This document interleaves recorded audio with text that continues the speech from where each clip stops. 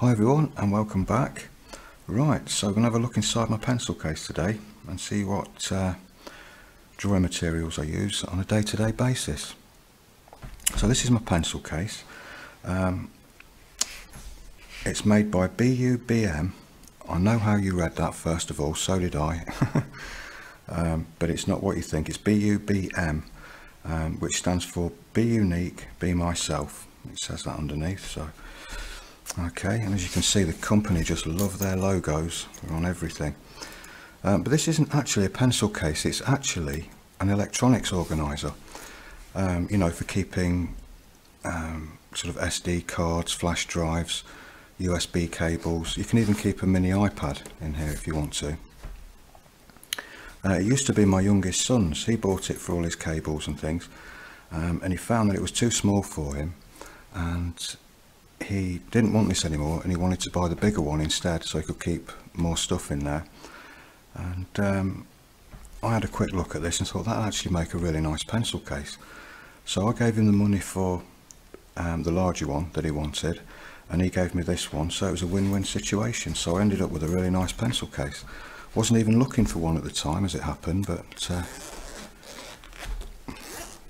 yeah it just came my way like that. So let's open it up and let's let's take a look inside. It's got two zipped compartments on it. Keep quite a bit of stuff in there. We'll start with this side first. Okay. Um, you've got this sort of elasticated sort of retaining system here with these mesh pockets which are also elasticated on the tops. So I'm not going to get all the pencils out and everything. I'm just going to quickly um, just tell you what I've got in here. Um, because I've just done a mechanical pencils video. I'll put a link to that in the description below. Um, and I'll just quickly just tell you what these are. So that's the Graphgear 1000 um, Kohinoor 0.5 I think that's the Mephisto model. I'm not even sure if that's still made anymore. Um, another Pentel Graphgear 500 um, and I've got four Pentel P200s there. That's the full set um, 0.9, 0.7, 0.3 and 0.5. They're all in different um, degrees of hardness of lead. So I'm pretty well covered there with um, lead size and lead hardness. So um, yeah. Ah, now these two I will get out because I didn't show these on the last mechanical pencil video because well basically I didn't have them. Um, people were writing in saying have you tried these? Um, the Pentel Orenz. Um, I hadn't tried them before, I'd seen them before and I saw that there were very very fine leads in there, you can get them down to 0.2 which is the finest that I've ever seen. But I thought it can't be such a big difference, you know the 0.2 compared to the 0.3 I'm quite happy with using my 0.3, I can get some really fine detail with that so I never really bothered um, buying one of these. But I thought, okay, I'll, I'll, just try one just so I can say I've got a 0.2 mil lead and just, you know, see if it does actually make a difference. So I ordered one um, online and the company sent this one out, which is the 0.5. I actually ordered the 0.2 um, and I contacted them and said, um, you know, you'd sent me the 0.5 instead of the 0.2. And uh, they said, okay, no worries, you can keep that free of charge. And um, we'll send you a 0.2 out. So that's how I've got two of them. But it was only really obviously the 0.2 that I was interested in. Um, so we'll talk about this one. It's um, it's got a very funny kind of one click and the lead sleeve and the lead all comes out in one go. It's quite a, a funny design actually because you don't need to keep clicking to get more lead out. You only need to have like one mil of lead um, just sticking out. And what happens is you'll think well that's going to wear down very quick as I'm drawing with it. But it doesn't. What happens is as you're drawing with it the lead sleeve slowly retracts but the length of the lead actually stays the same. It's quite a funny mechanism in there. I don't know exactly how it works but it, it just does. Um, so that's genius really. Um, and also because there's only one mil of lead sticking out you don't actually get any lead breakages which is going to be inevitable with a a 0.2 mil lead so that's kind of reduced the risk of, of lead breakages now I have used this a few times and as with all Pentel pencils, you know, they're fantastic quality um, and, and just lovely items to use. But the 0.2 can be very, very sharp and scratchy on the paper. Um, you've got to really go at it with a light pressure when you're using these or you will almost cut the paper because you know the, the lead is that fine it's very sharp so. But anyway they're two new additions to the collection.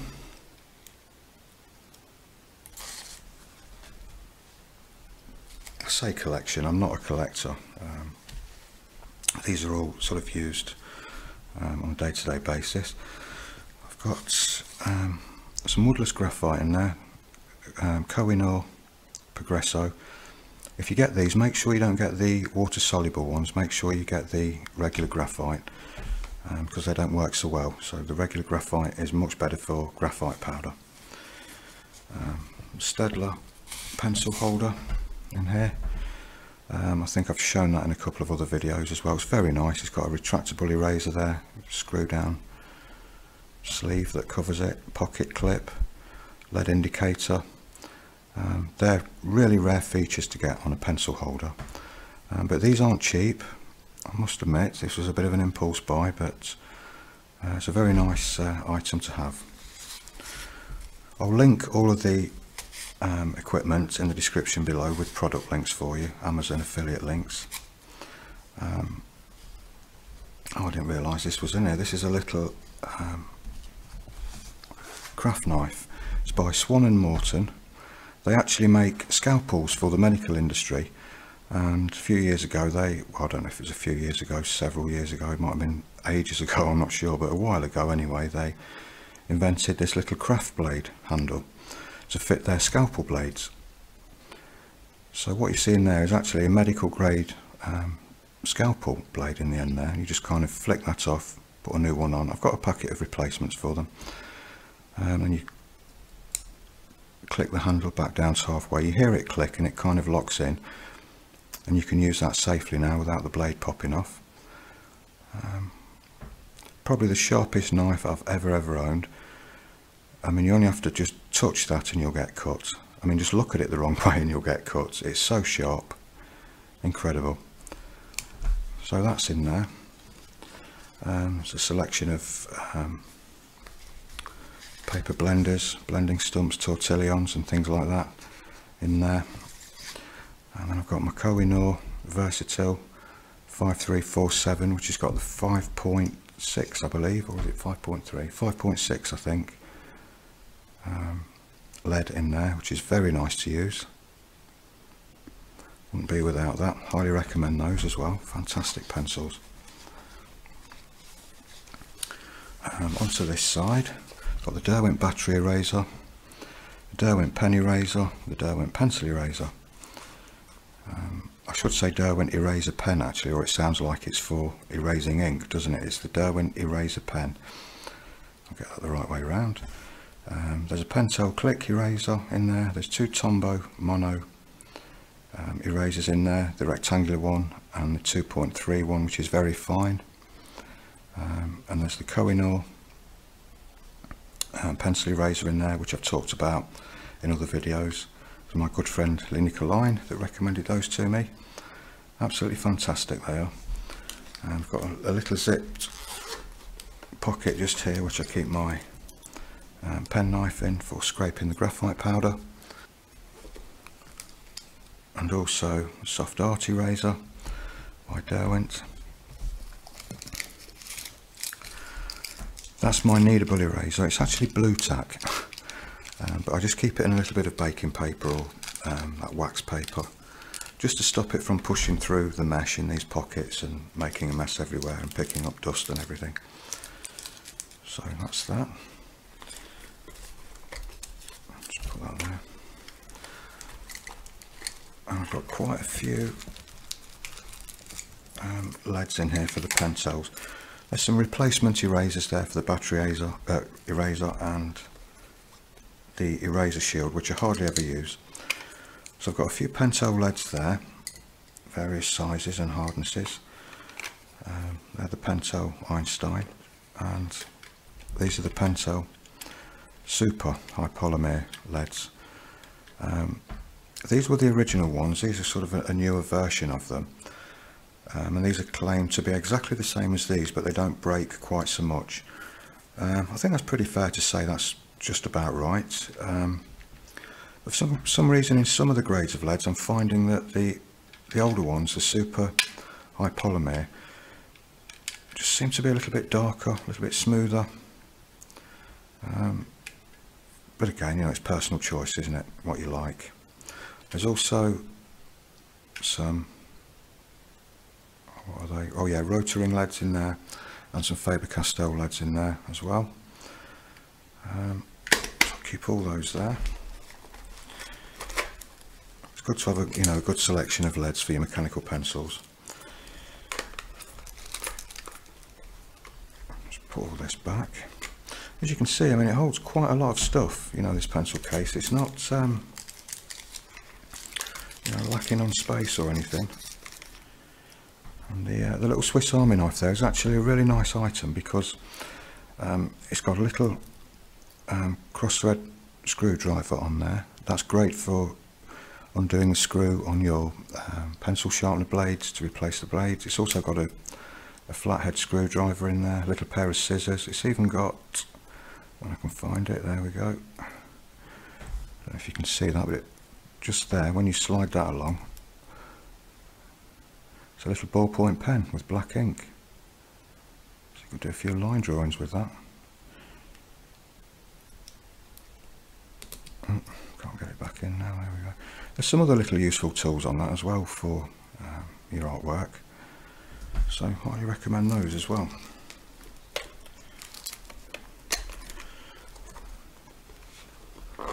Set that back up. Okay, in this section, as you can see, I've got some cotton swabs in there for blending, um, some cotton balls for blending, some kitchen paper for blending, um, my little set squares in there as well. Um, I don't know why I keep this in here, I don't use it regularly enough actually, but I keep it in there because I know where it is. Um,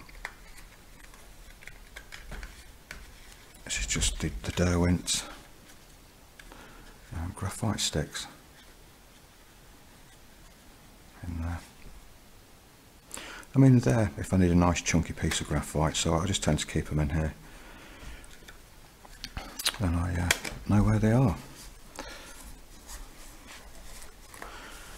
Okay so right onto the wood case pencils then. Let's, let's get them all out. I'm not even sure what I've got in here so this will be good to go through them again. Okay.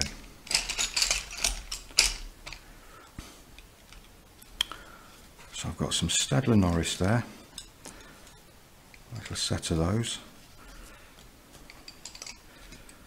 Um, a couple of other Staedtlers there. There's a Staedtler Tradition in HB and Staedtler Lumograph, Mars Lumograph in uh, HB.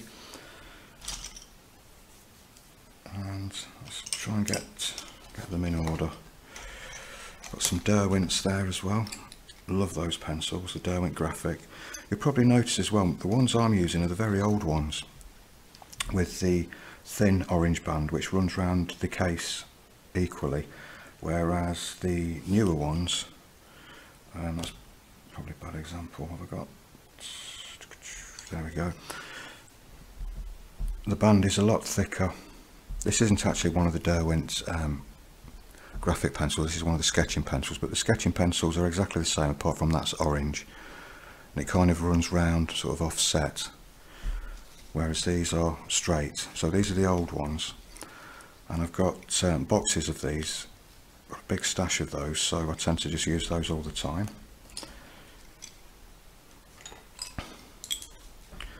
Quite a few of the Derwents there. There's a few um, academies as well. They're the kind of student version or claim to be the student version but they are very nice pencils actually. I quite enjoy using those. Um, oh, there's another Derwent in there and a pencil holder. It's actually a Derwent pencil holder as well. You, you get two in a pack. One takes the regular size pencils the other one takes larger uh, wood case pencils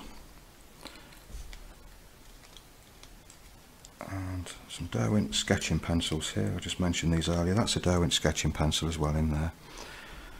Uh, they're very nice to use as well. They're a larger diameter than the, the standard um, Derwent graphic range. I think these are a 4mm lead in there with a roundwood casing. Very comfortable. I prefer the roundwood casing actually. It's, it's a lot easier on the fingers. So do like using those. Oh dear, the Ticonderoga. Um, I don't really use that anymore for shading or anything, but I just use it for just very simple line drawing or a little bit of sketchbooking. Um, I'm just getting too much grit in those to be able to use them as a you know serious art pencil, so kind of demoted that at the minute. From one extreme to the other, we've got the, Tombow Mono 100 here in 2B. Very dark, smooth pencil, very nice quality. Little bit pricey, but very nice. Um, there's another, yeah, there's another one here. This is the Tombow Mono J. Not quite as high quality as the Mono 100, but um, this is a very old one actually. It's not got the barcoding on it, so it's quite old. This is in 4B. Um, Tombow pencils are very nice, as are the erasers. Right, the Derwent Onyx. I can hear your cursing now. um, dark and medium. Um, it does say on the packet that the dark is darker than a 9B. Um, I haven't found that at all. I haven't found it to be anywhere near as dark as a 9B. Um, I mean, 2B is probably as dark as I can actually get with it. But nonetheless, if you forget what it says on the packet, um, they are lovely smooth pencils. Again, they've got a round wood casing with a, a nice thick 4mm um, graphite in there. The, virtually, well, they are identical actually to the Derwent sketching pencils. Um, apart from these are called Onyx and they have a different coloured band on the top compared to the uh, sketching pencils. But I just treat those as sort of 2B um, sketching pencils. I don't consider them 9B super dark pencils at all. Maybe I've just got a bad batch, I don't know, but I've seen other people online um, say the same thing, you know, you, they can't get 9B with them, um, you know, which is fair enough because you can't, you really can't, so. Um, two Conte graphite pencils there, they're okay. Oh, oh dear. okay, I forgot this was in there. Okay, I was just thinking of, can I edit this video and kind of slip this one out without anybody noticing, but I don't think I'm going to be able to do it, am I? Um, okay, well I better, I better just explain myself because um, if I've built up the slightest reputation um, of knowing a little bit about pencils, I'm just about to lose all that right now when I show you this. But maybe I can talk my way out of this. well, hopefully I can anyway. Um, yeah, okay. The Kohinoor Sudoku pencil. That's what it is. Now, I bought this quite a while ago, okay. You'll probably notice that there's a pencil on one end and an eraser on the other. Now, I mentioned earlier the, um, the Kohinoor pencil eraser there, which is without doubt my most favourite pencil eraser ever. It's just the most efficient, it just works fantastically. Um, now when Linico recommended these to me, um, I bought three of them. And after using one for a short while, I just thought these are fantastic. I'm going to buy a small stash of these just in case they go out of production or they get hard to get hold of or something. So I went back to the original seller and um, to, you know, to buy a large quantity of them. And he wasn't selling them anymore. So I tried to find them um, on eBay. I couldn't find them. I looked on Amazon. I couldn't find them. So I thought okay I'll do a Google search see if there's any shops selling them. Um, so I typed in Kohinoor pencil eraser and these came up. Because obviously it's a pencil and it's eraser. So um, the search results picked these up for me. And I thought if that white rubber compound in the end there is exactly the same as this one, these will be a bargain because um, you bought them in a set of six and they were very cheap, not expensive at all. I can't remember exactly how much they were. It was last year sometime that I bought these. Um, and they were claimed to have a 2B lead on there, um, which I can tell you now it isn't. It's more like a very hard HB or an H. Yeah, we'll call it an H. It's more like that really. Um, and I thought if that works, they'll actually be a fantastic sketching pencil. Um, you know, because you can be drawing away with one end, you can just flip the pencil over just to erase for small detail. Um, it'll keep you in the flow of drawing a lot better than, you know, to keep picking things up and putting things down. So I thought, I'm going to take a chance on these and, you know, see if that's the same. And I can tell you now, it absolutely is the, same rubber compound as these. So hopefully I've redeemed myself there. I bet you're all rushing out to buy some now. Probably not, I don't know. But that's the reason why I bought some of these. But since then I've found um, a few other sellers um, which are starting to stock these now and sell them at a reasonable price. So I've, I have stocked up and that's why I've not really used that too much. Um, purely because the graphite is a little bit hard, to be honest. But apart from that, they're quite an interesting pencil, really. I don't play Sudoku or anything, but you know, forget what it says on there. It's, it's quite quite a useful little thing really so yeah that's why I've got that uh, now a few other things that I'll just just put these back while I'm talking a few other things that um, I guess I could fit in here but I, I don't I keep them in pencil tins on my desk just at the side of me um, are these the um, Staedtler Mars Lumograph and the Staedtler Mars Lumograph Black I've made videos about these in the past as well, so uh, I'll try and put links below for these. Basically they're a carbon mix pencil, carbon and graphite, and these in here are mostly all graphite apart from the 6B and the 7B which are a carbon mix as well. But I think since since Staedtler has bought the Mars Lumograph Blackout, the Mars Lumograph uh, Regular or Mars Lumograph 100 um, no longer have the carbon mix pencils in the 6B and the 7B.